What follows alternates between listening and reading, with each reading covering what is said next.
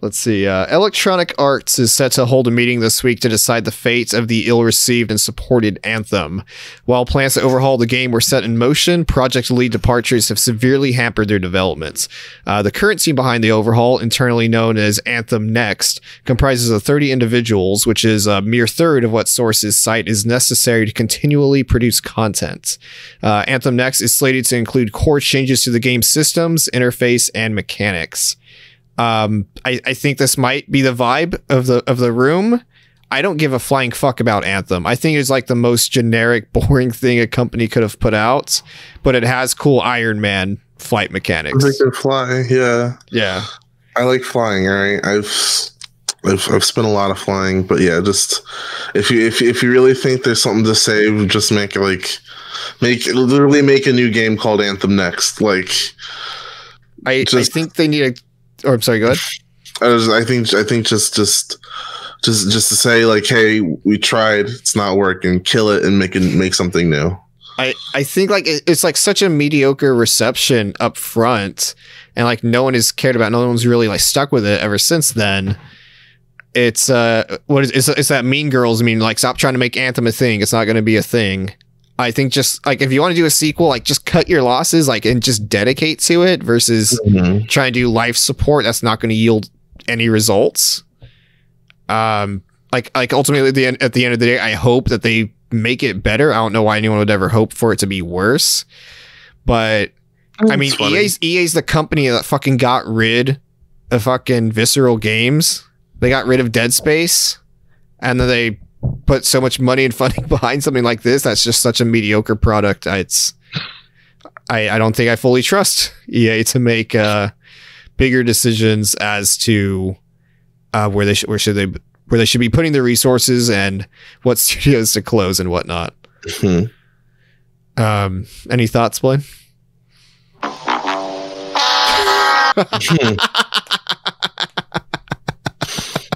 Those are my I, thoughts. I fuck I fucking love you.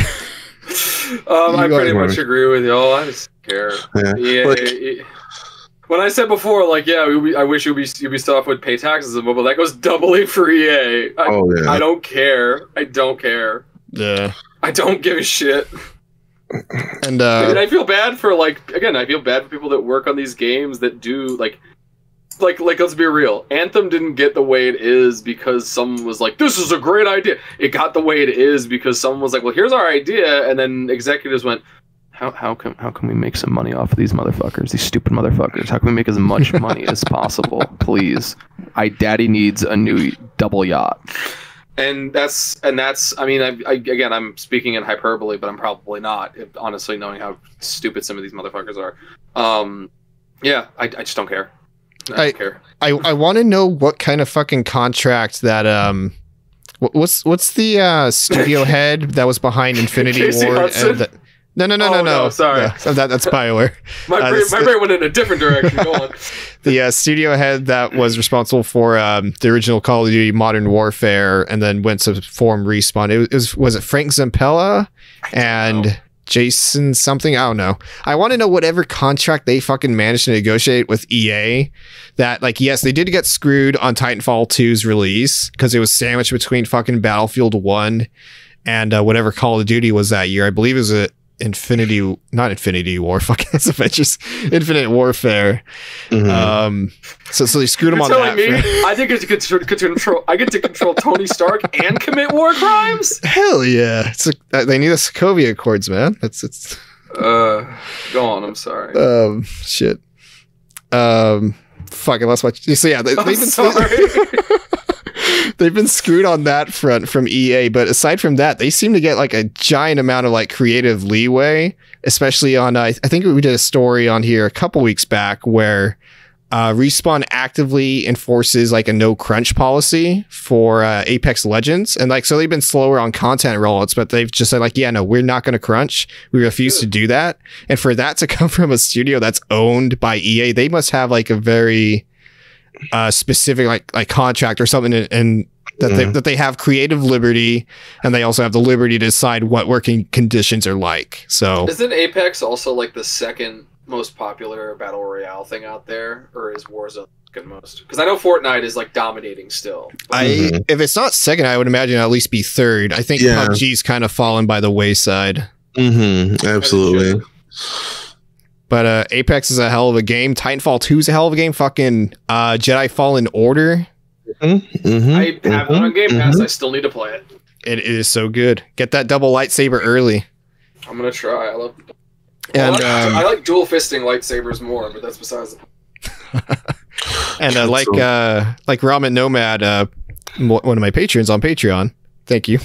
Um, they they point out like yeah, there's no Final Fantasy 14 uh, resurrection story for Anthem.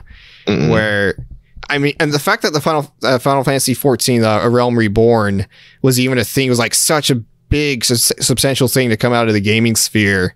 It- it's like a big, um, what's the word I want to use? It's it's a redemption story that paid off like so fucking well, and I don't see EA having either. This isn't necessarily aimed towards, towards like any individual uh, developers or who whatever leads whatever, but I don't see EA um, uh, fostering the kind of passion or resources that are necessary for something like that. So I don't it- see Yeah. being competent enough to do it. Honestly, like Mm-mm. like like okay, look, let's not beat around the bush. Square Enix sucks in a big way, but they also do n- at least know how to get games out and like I don't know. Like I, I have as much as I don't have that much faith in Square Enix these days for certain reasons, I I'm not gonna sit here and pretend that there is incompetent something They at least do seem to have like even if it's despite themselves, they do seem to have these strand out hits. Like they have the Nier series, they have um, Final Fantasy 14 doing its big comp turnaround. Um, I believe it was Derek at SDGC that had pointed out um, the time frame of Final Fantasy 14's turnaround was three years. So it had already been had been fucked for three years, and then they turned it around into Mm-hmm. un- undeniably the most popular MMO out there. Um, but again, like I don't, I don't see, I don't see EA and the management within the Mhm. within that company being competent enough to actually not only turn Anthem around but get it sustainable. I mean, like, like let's look at Destiny Two. Destiny Two launched and like you had like it was it was divisive as hell. People either really really loved it and were all about it and were seeing where it was going, or people were like, "This is a goddamn like train wreck. It's it's just microtransaction, microtransaction. I paid sixty dollars for almost half a game or a quarter of a game." Um, and regardless of where you fell on that spectrum, they have more or less turned that around, partially in part because they left Activision, but um, and the fact that like now there's still things that come up that like maybe people don't like and don't love, but that took them what? Now we're at like uh, when did Destiny. 1 came out 2014.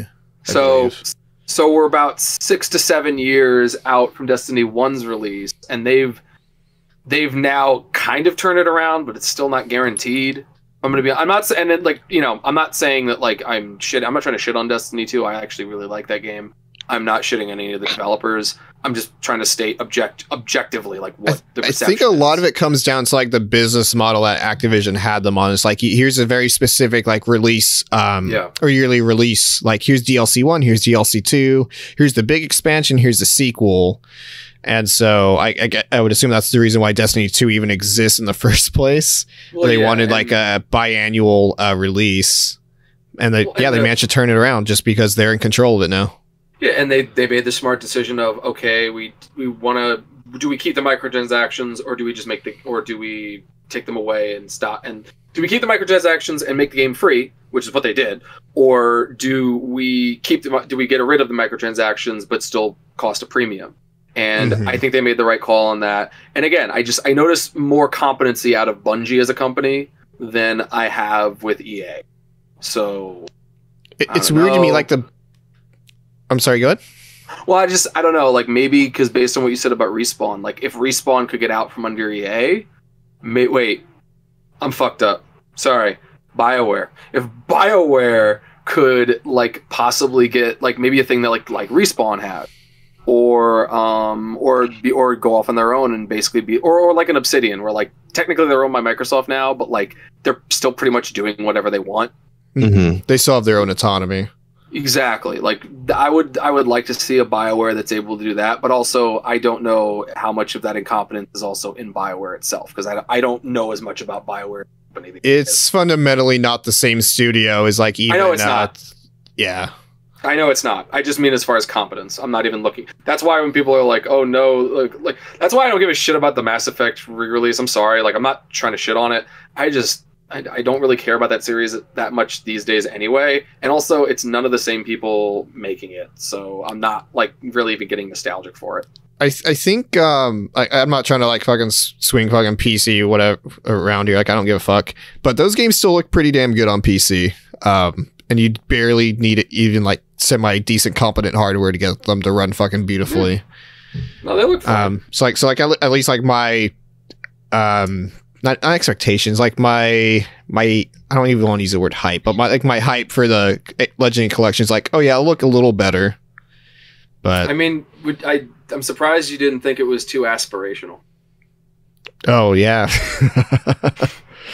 uh, Got, but I um, got you with that. uh, I, for- I forgot one thing. Uh, going back to Square Enix, not even necessarily in regards to the whole um, uh, Realm Reborn stuff with Final Fantasy XIV, the relaunch. Um, I I feel like th- they, as a publisher, are more willing to at least let their whether it's uh, developers that they own or if they're if publishing deals for other developers, whatever, they're more willing to do weird shit versus EA where it's like very cut and dry. Just like we need like this to appeal to like this very specific demographic and whatnot. Uh, Square Enix is at least willing to do weird shit, and that weird shit uh, allowed for something as crazy as a Realm Reborn. hmm Mhm. Or it's why I brought up Nier. Like I, I can't think of any major AAA Western studio, or even like any other Japanese AAA uh, publisher, not studio publisher, is what I meant to say. And I think about it, like g- giving someone like Yoko Taro that much creative control, and also just the teams that he works with making these are so fucking weird. Like that, I got to give that to Square Enix at the very least. Like they, like you said, they do seem to give a little bit more of a freedom to the people developing shit, but they also have they also have things like Dragon Quest to rely on. Literally the most popular RPG in the planet. Mhm. How how's your Xbox uh, Game Pass version of that game going? It's good. Um, I got up to. I just broke out of uh, a dungeon, and I met what I, who I I know is my first party member because he, he's on the box art and other stuff. For your Mm. sake, I hope that there's cross save because I know you're going to cave and buy the Switch version. Oh, I'm gonna. I played. I played it on Switch. I like. I I put. would have already if I fucking had the money. like I got everyone to 100. I beat the entire game. Got everyone to 100. It, I love that game's fantastic. Let's see. I'm loving Dragon it so Quest. far. Dragon Quest 11 is wow, Everybody, perfect. this is now a Dragon Quest podcast. Hell yeah! I have, Dragon, I have Dragon Quest 8 like right there. Let's go. I've never played the other. Well, no, I've played the mobile port of Dragon Quest Mm. One that is on the Switch, which is Mm. fine. I know the graphics are not apparently great. Well, but if you like, if you like 11, then eight's the eight. It's it's direct. Like they went like, hey, let's make eight again, and made 11. okay, yeah, I have and never I know played ten a single. is like an MMO that never came out here. yeah. It was on. It was on the Wii and Wii U. Yeah. I have yet to play a single Dragon Quest, and I'm assuming this might be a good jumping on point.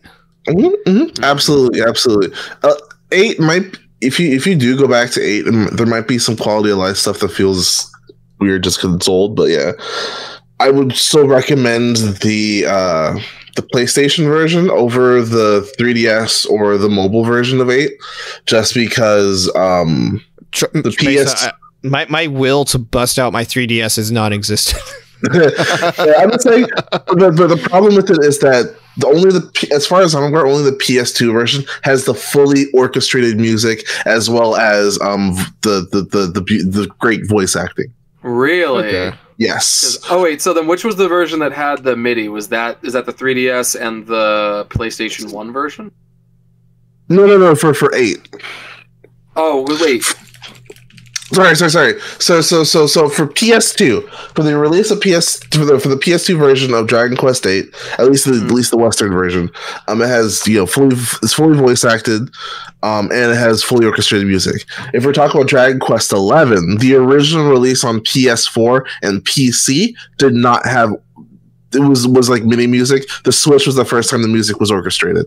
No, I know that. I, I Yeah, remember okay. thi- I just remember this not starting with Eleven. This started all the way back with like fucking whatever Dragon Quest, because like you'd have certain versions would have midis and certain versions Mhm. would have orchestral, and it would because that shithead fucking Holocaust and I are.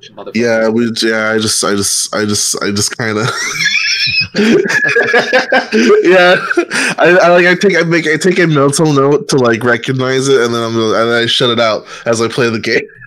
I turned on I turned on the MIDI version for like a second just because I was like I was curious. I was like, "Eh, it's not that bad. Let me let me check it out. And I tried it, and I was just like, I felt like I got thrown into a time machine to like Oh. 2006. It's visceral. It's visceral. The difference It- is visceral. It slaps you in the face. It's like, wow, wow, them horns though. Mhm. Yeah, Dragon Quest Eight, like to the like to the point where. Um, wait, is it Dragon Quest eight or seven? I'm pretty sure it's eight. Like to the point where the, later on in eleven, you're going to be grouped with somebody else, and your number is eleven and their number is eight. Like, That's Like, it's that's very- awesome. yeah, That's awesome. like it's very clear. Like they're saying, like this is this is essentially eight two, and it's it's, it's great. I love I, I fucking love both of those games. Anyway, Jose, Sorry. you said that you had a jumping off point. Sorry. wait, did I? I'm pretty sure you did. Like, oh, I've never played Dragon Quest, but this seems like a good jumping off point. Oh, it's a jumping on point. Like I, like, as in it'd be Oh, like my just a- first entry into the series. I guess. Oh, I thought you were talking about like Segway, Oh no no no no. but I'm My- assuming you have a Segway now. Oh, se- semi somewhat. This is the smoothest segue I've ever done in my entire life. Glad to hear. um,